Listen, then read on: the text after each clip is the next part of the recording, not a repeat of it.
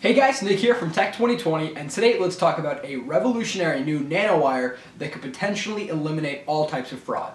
Let's get started.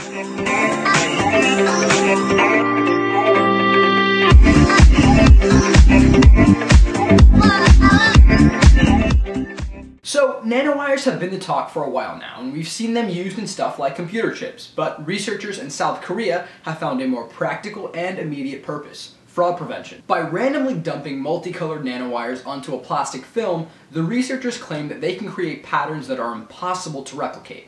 By then embedding these nanowire patterns into stuff like money and electronics, we can then help prevent fraud and the proliferation of counterfeit goods. To actually create these patterns, researchers will start with a simple silver nanowire, coated in silica shell, which can then react with one of two fluorescent dyes red, or green.